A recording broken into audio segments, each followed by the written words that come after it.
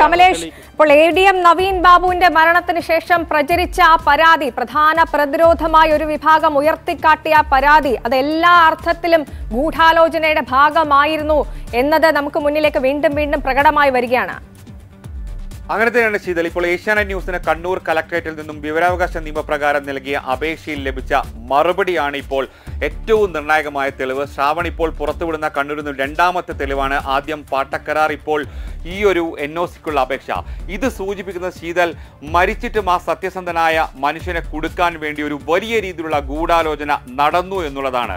അതായത് പാട്ടക്കരാറിലെ ഒപ്പും എൻ ഒ സി അപേക്ഷയിലെ ഒപ്പും എന്ന് ശരിയാണെന്ന് പറയുമ്പോൾ അതാണ് യഥാർത്ഥ ഒപ്പ് അതാണ് പ്രശാന്താണ് യഥാർത്ഥ പേര്. പ്രശാന്തൻ എന്നുള്ള പേരിൽ മറ്റൊരു ഒപ്പിട്ട് കൊടുത്തത് ആരോ തട്ടിക്കൂട്ടി തയ്യാറാക്കിയ പരാതിയാണ്. അത് മുഖ്യമന്ത്രിയുടെ ഓഫീസിൽ ഇതുവരെ എത്തിയതിന് ഒരു സ്ഥിരീകരണവുമില്ല. ഇനി യഥാർത്ഥത്തിൽ മറുപടി പറയേണ്ടത് പി പി ദീപിയെ പിന്തുണച്ച ഡിവൈഎഫ്ഐയുടെ സംസ്ഥാന നേതാക്കൾ സംസ്ഥാന പ്രസിഡന്റ് സെക്രട്ടറി അടക്കമുള്ളവരും സൈബർ മേഖലയിലെ സഖാക്കൾ ഉൾപ്പെടെയുള്ളവരുമാണ്. ഒരു സത്യസന്ധനായ ഉദ്യോഗസ്ഥനെ എല്ലാ മന്ത്രിമാരും മാറി മാറി ഒരു കള്ളം പോലും പറയാത്ത ആളെന്നാണ് വീണ ജോർജ് ഇന്നലെ പറഞ്ഞത്.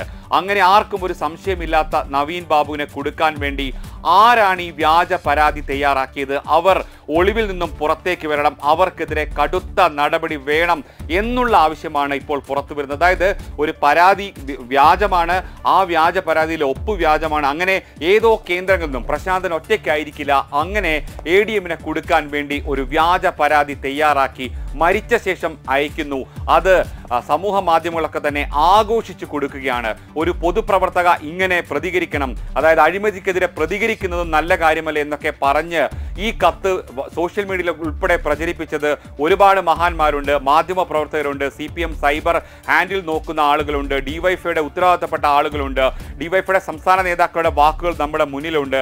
അങ്ങനെ ഒരാളുടെ പൊതുപ്രവർത്തനം അവസാനിപ്പിക്കാൻ ഞങ്ങൾ അനുവദിക്കില്ല. ഇതിൽ അന്വേഷണം നടക്കട്ടെ പുറത്തു വരട്ടെ എന്നുള്ളത്. എന്തിനാണ് അന്വേഷണം നടക്കേണ്ടത്? ഒരു വ്യാജ പരാതിയിലാണ് അന്വേഷണം നടക്കേണ്ടതെന്ന് ഒരിക്കൽ കൂടി തെളിഞ്ഞിരിക്കുകയാണ്. അത് ആ കത്ത് ആ പരാതി വ്യാജമാണെന്നതിന് ഒന്നല്ല രണ്ട് തെളിവാണ്. രണ്ടാമത്തെ തെളിവ് കൂടി ഈ സമയം ഏഷ്യാനെറ്റ് ന്യൂസ് പുറത്തുവിടുന്നു.